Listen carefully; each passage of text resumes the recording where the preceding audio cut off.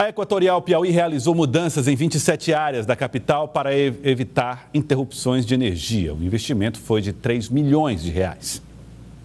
Com o crescimento de Teresina, aumentou a demanda de energia elétrica, o que favoreceu também o surgimento de novas ligações clandestinas e furto de energia, gerando sobrecarga na rede em alguns pontos da cidade.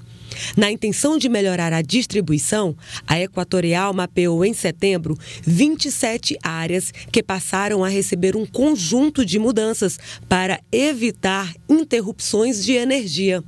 A ação chamada Mais Energia para Você integra o Plano Teresina 2, que está em prática para oferecer mais segurança e qualidade aos consumidores em todas as zonas de Teresina. Nós já tínhamos mapeadas algumas áreas problemáticas e cujos transformadores já estavam no limite da sua, da sua carga. Então a gente resolveu fazer isso agora no período do BROBRO e tem várias motivações. Tem as motivações de reclamações que, que entram para a gente, a gente monitora isso também. A gente monitora a reincidência, que é a quantidade de vezes que aquela área dá problema. E em cima disso a gente monta uma estratégia para atacar essas áreas mais problemáticas. Em algumas áreas a gente amplia a potência do transformador. A gente tem um transformador que ele tem uma capacidade e a gente amplia essa capacidade dele. Em outras áreas a gente divide. A gente pega aquele transformador, por exemplo, que estava atendendo 300 unidades consumidoras, a gente deixa ele atendendo 150 e instala outro transformador que atenderá as 150 restantes. Então a gente trabalha nesses duas, nessas duas frentes. Somente em setembro, a Equatorial investiu mais de 3 milhões de reais em ações estratégicas para qualificar a rede elétrica de Teresina, beneficiando cerca de 12.500 consumidores.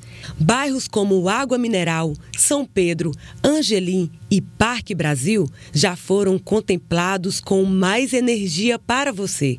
Em outubro, 25 novos pontos vão ser beneficiados.